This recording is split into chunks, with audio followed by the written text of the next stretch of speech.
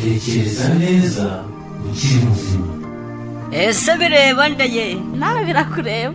Umva ye tega amatwi. Byiteho. Nawe birakureba. Twese biratureba. Ikiganiro nawe birakureba ni kuri radiyo ijwi ry'ibyiringiro fm ijana na gatandatu n'ibice bine. Wowe uteze amatwi radiyo ijwi ry'ibyiringiro nongeye kugusuhuza. Ubuntu n'amahoro by'umwami wacu Yesu kirisito bibane nawe. Uyu ni wa mwanya w'ikiganiro nawe birakureba. Ndakurarikira kuba hafi inyakiramajwi yawe ngo tuganire. Uyu munsi turarebera hamwe ubuyobozi bw'umuryango. Ikiganiro giteguriwe kandi urakigezwaho na gata ruhangara. Senge witeka mwami wacu nongeye kugushima aka kanya nongeye kubona ngo nganire n'umwana wawe unkurikiye kunyakira amajwi ye izina ryawe niryubahwe witeka ushimye kandi ko washyizeho umuryango ndetse ukagena n'uko umuryango uzayoborwa. Ngwino rero ufashe abagabo bose bayobore munsi y'ukuboko kwawe bityo bizabafashe kukumurikira ab'imiryango yabo ubwo uzaba ugarutse mu izina ryiza rya yesu. Amen.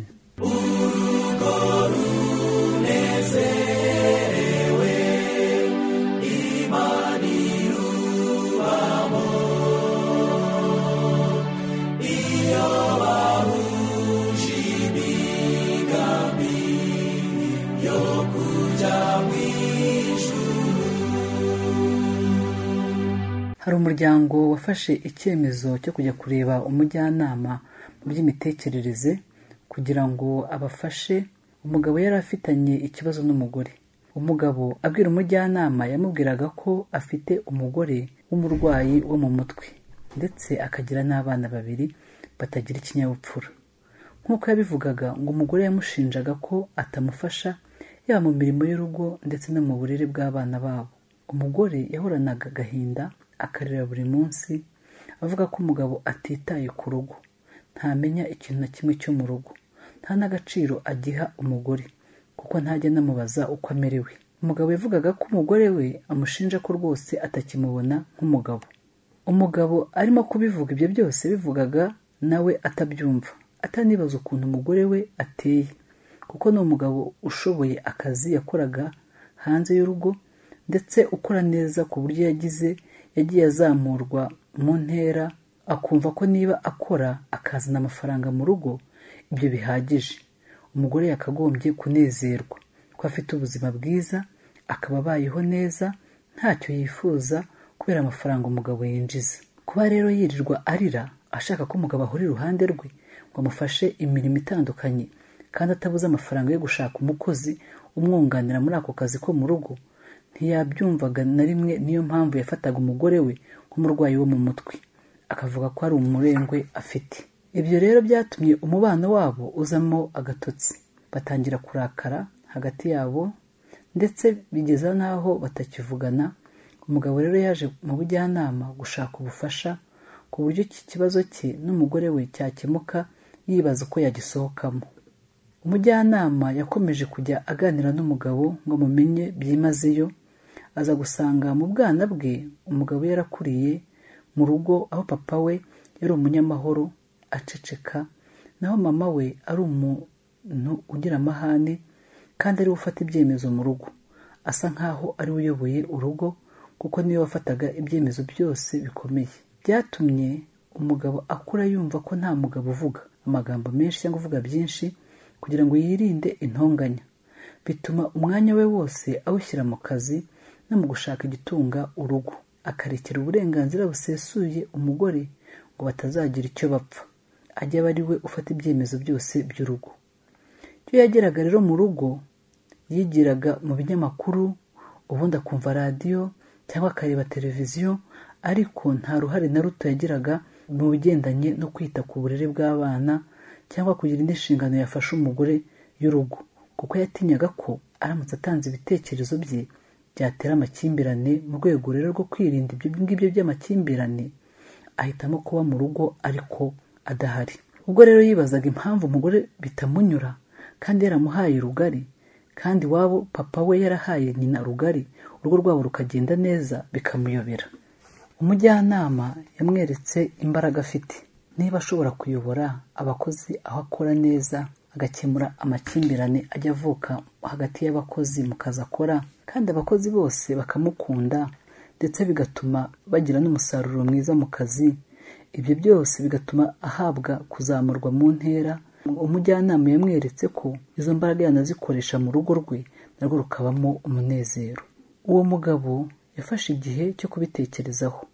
Yibaza niba natangira kwinjira mu birebana n'umuryango bitazazana amakimbirane akomeye. Ariko yafashe icyemezo cyo kwinjira mu nshingano zo kuyobora urugo buhoro buhoro. Adahindura ibyo umugore yashyizeho ahubwo amugisha inama ngo bafatane icyemezo hamwe. Icyamutangaje ni uko ubwo yatangiraga kwinjira mu nshingano z'ubuyobozi bw'urugo umugore yagendaga akura ikirenge ku buyobozi ndetse akagenda amusigira ubuyobozi bwose ahubwo akamugisha inama amwereka ko umugabo ari we ufite ijambo rya nyuma. Umugore yatangiye gucya n'amarira ya buri munsi arashira. Noneho atangira no kwinjira mu burere bw'abana be babiri bari barigize nabi nabo batangira kugaruka buhoro buhoro bagaruwe n'igitsure cya se ariko kirimo n'urukundo. Uwo mugabo ngo yanejejwe n'uruhare ndetse n'impinduka yakoze ku muryango we abona ko nawe yaratereye iyo ariko akibuka ko atari ubushake bwe ahubwo uko yarezwe byagize uruhare runini mu myitwarire ye. Uwo muryango wongeye kugira umunezero aho abawugize bose bashyira hamwe kandi bagatahiriza umugozi umwe. Ubuyobozi bwiza. Ubuyobozi bwiza rero kuyobora bitandukanye n'igitugu. Igitugu ni hahandi ab'umuryango batagira kwisanzura kandi bagakinagazwa. Ibyifuzo byabo ntibihabwa agaciro. Nta jambo bagira mu byemezo bibareba nta no gutanga ibyifuzo byabo kubaho. Mu gihe ubuyobozi bwiza ni ubuha ab'umuryango umudendezo ndetse bakagira uruhare mu byemezo bibareba ibyifuzo byabo bigahabwa umwanya kandi bikitabwaho. Urukundo rugira umwanya ukomeye mu rugo rurimo ubuyobozi bwiza. Aho buri wese yifungura akavuga ikiri mu mutima we iyo umugabo afashe inshingano y'ubuyobozi bw'urugo yiyemeza gukunda umugore we nk'uko Yesu yakunze itorero nk'uko byanditse mu rwandiko paul yandikiye abefeso. Igice cya gatanu umurongo wa makumyabiri na gatanu haravuga ngo bagabo mukunde abagore banyu nk'uko kirisito yakunze itorero akaryitangira azashyiraho ubuyobozi budakandamiza umugore we ahubwo bumutegera amaboko bukamuha umudendezo no kwisanzura maze umugore akagandukira umugabo muri byose yishimye. Ubwo buyobozi imana ibuha umugisha umuryango ugahindukira abawurimo ijuru rito aho abaho bose bahora banezerewe kandi buri wese yifuza kuba muri uwo muryango. Kugira ngo ubwo buyobozi rero bugerweho hari ibintu by'ingenzi bigomba gushingirwaho. Umugabo wese wifuza kuyobora umuryango we mu rukundo yagombye gukurikiza izo ntambwe z'ingenzi. Intambwe ya mbere mbere y'uko umugabo ajya gushaka ibitunga umuryango yagombye kubanza kumenya umufasha we. Ubwo intambwe ya mbere ni ukumenya umufasha wawe. Akenshi nyuma y'ubukwe abantu bamaze gushinga urugo usanga umugabo icyo ashyira imbere ari ugushakisha kugira ngo umugore w'abandi azanye atabura ikimutunga. Bityo umugabo abashe kwitwa koko umugabo kuko hari icyo yazanye mu rugo. No kugira ngo yerekane ya nshingano yatangiye nshyashya ko ayishoboye koko. Ibi bituma rero umwanya munini atawuha ab'umuryango ahubwo awumarira ashakisha niba se atabanje gufata umwanya ngo yige umugore we amenye ibyo akunda amenye ibyo yanga amenye ibyo yifuza azamunezeza ati niyo mpamvu umugabo uyoborana urukundo agomba kumenya umugore we ibimunezeza akamenya ibimubabaza akamenya ibyiyumviro bye akamenya ibyifuzo bye bityo akagerageza guhaza kwifuza k'umugore we kose. Ntibivuze ko ufata igihe ngo ureke gukora kugira ngo ubanze ufate umwanya wo kubanza kwiga umugore ariko muha umwanya uhagije kugira ngo ubashe kumumenya. Umugabo w'umunyabwenge rero azagira nyambere gukorera hamwe we n'umufasha we. Bityo bizatuma batangirana urugo bafite icyerekezo kimwe maze ibyo bifuza kugeraho byose ndavuga imishinga bafatanyije nta kizabananira bafatanyije nta kizabananira cyangwa kizababuza kuyishyira mu bikorwa.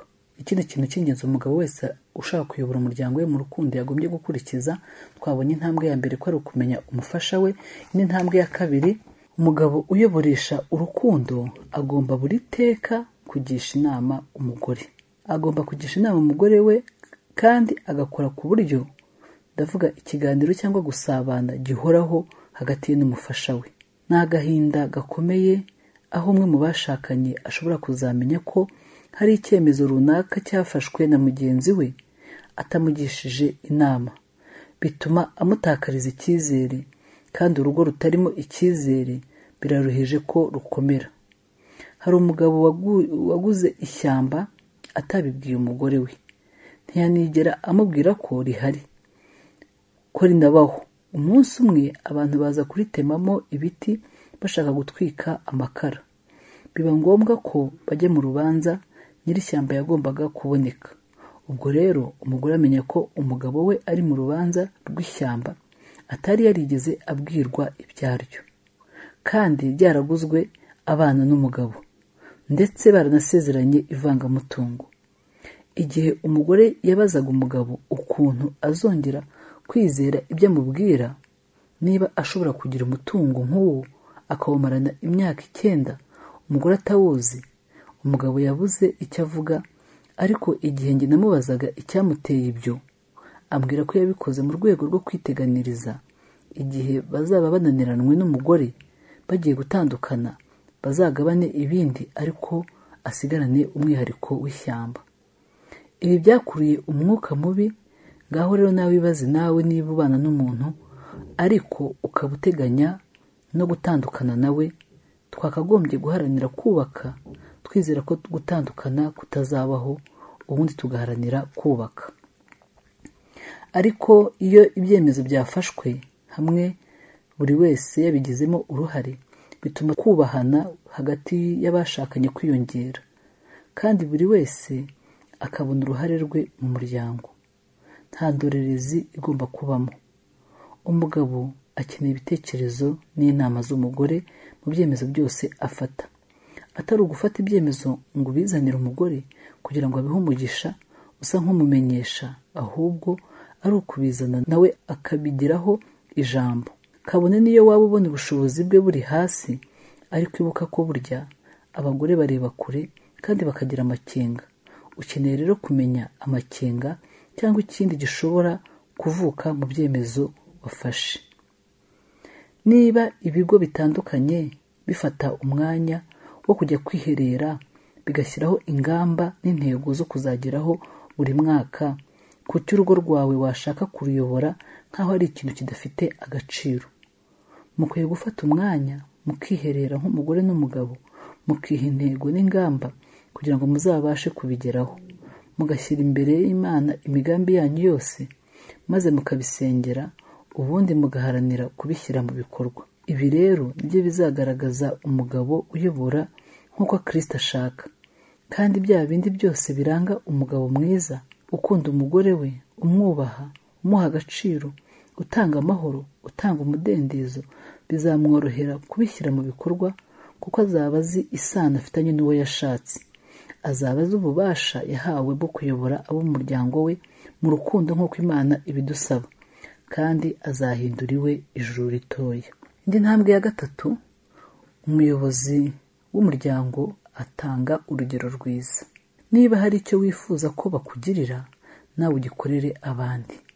Niba ushaka icyubahiro nawe ubaha abo ugishakamo niba ushaka gukundwa no guhabwa agaciro nawe ha agaciro kandi ukunde ab'umuryango wawe.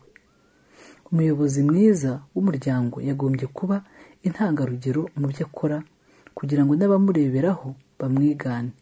Ibi bivuze ko rero umugabo akeneye kwiyubaha gucisha mu kuri kugira indangagaciro za kimuntu. Ariko se ni abagabo bangahe basaba abana babo gutaha kare kubahiriza gahunda n'amasaha kandi ukabona araza mu gicuku cyangwa atashye bwenda guke icyo gihe ibyo uvuga n'ibyo ukora biba bitandukanye kandi umwana arabireba. Ubwo rero umwana ntamenya icyo gufata icyo ari cyo mu gihe umusaba nawe ibyo udashoboye kugira ngo umushyire ku murongo ntibiba byoroshye.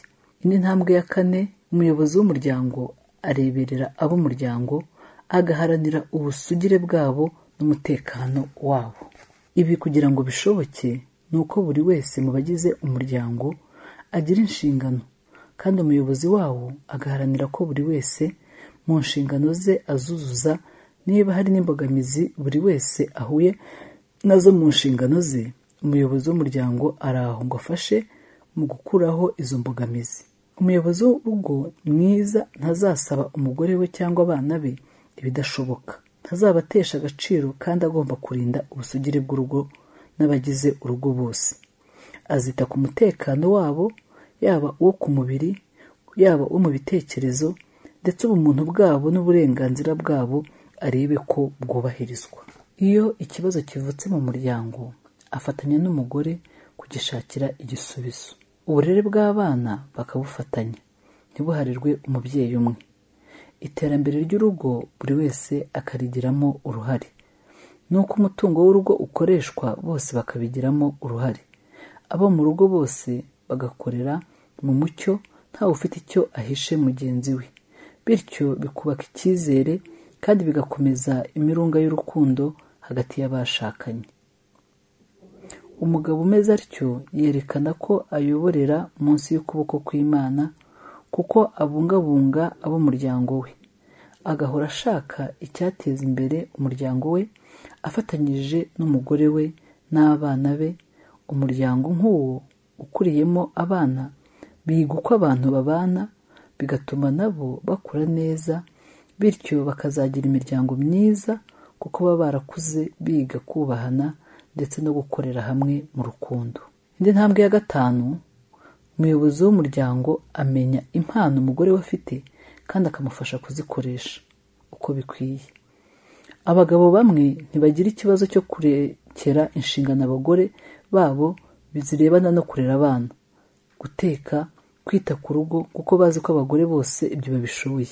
Ariko hari abagabo bajya bagira ikibazo iyo abagore babo bashobora gukora akazi hanze y'urugo bakaba bakwinjiza mu muryango ibirenze ibyo umugabo yinjiza. Icyo gihe hari abagabo bamwe bitera ikibazo izo mpano z'abagore babo bagashaka kuzicecekesha. Umugabo mwiza rero atera imbaraga umugore we kugira ngo akomeze muri icyo cyerekezo. Ntabwo umugore aba agiye kujya kurushanwa n'umugabo mu kwinjiza kwinjiriza urugo ahubwo baba bagomba kuzuzanya mu bibazo bireba urugo. Niyo mpamvu rero impano umugore afite musabe mufashe mushaka ko muyikoresha nimba ari impano inabyara umusaruro muzawusangira indi ntambwe ya gatandatu umuyobozi mwiza w'umuryango amenya amakosa yakoze kandi akayirengera. Abagabo bashobora gukora amakosa ariko si benshi basaba imbabazi z'amakosa bakoze n'abanyarwanda babashyigikiye muri uwo muco mubi bavuga ngo amafuti y'umugabo ni bwo buryo bwe. Ariko ntabwo ibyo ari byo. Kuko rero bumva n'iyo babonye ikosa bakoze baramutse basabye imbabazi umugore baba babaye inganzwa cyangwa bacishijwe bugufi cyangwa se basuzuguwe. Ibi rero bashaka guhishira ibi bituma bashaka guhishira amakosa yabo cyangwa bagashaka kuyashyira ku bandi ntibayirengere. Ntawe udakosa kwibeshya bibaho. Ntawe bitashyikira. Ariko icy'ingenzi ni ukugenda ugasanga umugore ukamubwira uko byagenze ugasaba imbabazi ndetse mugafatanyiriza hamwe kureba uko mwakosora ikitagenze neza ibi rero bizongera icyizere cy'umugore ku mugabo we kandi bikomeze imirunga y'urukundo rwanyu. Ibi rero kugira ngo bikunde ni uko mushyira hamwe buri wese akagira uruhare mu byemezo bifatwa mu rugo. Urugero niba mufashe icyemezo cyo kugura imodoka. Umugabo ashobora guhitamo ubwoko bw'imodoka kuko nibo bamenya izikomeye n'izibonerwa ibyuma ku buryo bworoshye cyangwa se izishobora koroha kuzikora iyo zigize ikibazo. Ku buryo bitagoranye umugore nawe agahabwa amahirwe yo guhitamo ibara ryiza kuko nibo bamenya amabara meza kurusha abagabo. Niba ari itara ripfuye ryo mu nzu umugore ashobora kuba ari we ufata inshingano yo kugura irindi. Niba ari ibati ritobotse hakaba hava umugabo ni we uzahabwa amahirwe yo guhumesha aho hantu. Niba se ari inzu mugiye kubaka umugabo ashobora guhitamo aho muyubaka n'uko muyubaka agaha amahirwe umugore yo guhitamo amarangi azayisigwamo ibikoresho byo mu nzu umugore akaba yahabwa amahirwe yo ku- kuba ari we ubihitamo kuko ni we uba uzobereye muri ibyo. Niba se mufite iyo nzu ifite n'ubusitani umugore ashobora guhabwa amahirwe y'ibizaterwa muri bwa busitani akaba ari we ubikora uko abyumva gutyo gutyo gutyo. Ni ukuvuga ngo igikorwa gishobora kuba ari kimwe ariko buri wese mukakigiramo uruhare. Nubwo ari igikorwa kimwe gishobora kuzu- kuzura gifashweho ibyemezo byinshi kandi buri wese yabigizemo uruhare. Bikanezeza buri wese iyo icyo gikorwa kirangiye. Iyo umuyobozi w'umuryango rero ayoboye neza umugore nawe aga- aganduka atabibwirijwe. Birizana. Noneho umunezero imana yifurizaga abashakanye ukaba umuco muri uwo muryango. Ubuyobozi nyakuri umugore akeneye ku mugabo. Uko umugore yaba ameze kose yaba uwo twita ko ataba mu mujyi yaba uba mu mujyi yaba uwize cyangwa se utarize bose bakeneye umugabo uyobozanya urukundo. Akita ku byabo mu rugo bose bakeneye. Umugabo wubaha umugore we kandi akamuha agaciro akamenya abo mu rugo bose kandi akamenya ibyo bakeneye. Kugira ngo ibyo bishoboke rero ni uko umugabo ayoborwa n'imana. Kuko niyo yamuhaye iyi nshingano. Ikanamubashisha kuyishyira mu bikorwa. Ntabwo uburyo abagore bamwe bajya bakoresha iyo bayobowe n'abagabo batubaha imana bakabashyira ku nkeke cyangwa gutongana bizahindura umugabo. Imana yonyine yo yaremye umugabo kandi ikamuha inshingano yo kuyobora urugo niyo ibasha kumuhindura no kumushoboza kuyobora ab'urugo rwe mu rukundo. Wowe mugabo rero nkurikiye kunyakira amajwi yawe. Saba imana igufashe mwuka wera kube bugufi maze ubashe kuyobora uko imana ishaka. Amagambo aboneka mu rwandiko rwa kabiri pawulo yandikiye abikorinto igice cya gatanu umurongo wa cumi na karindwi aravuga ngo umuntu wese iyo ari muri kristo aba ari icyaremwe gishya. Ibya kera biba bishize.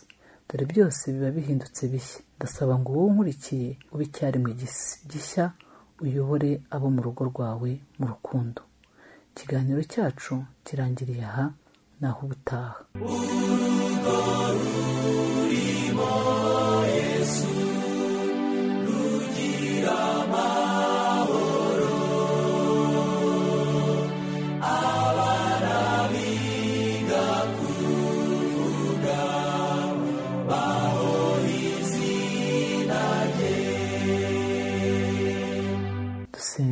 Urakoze uwiteka.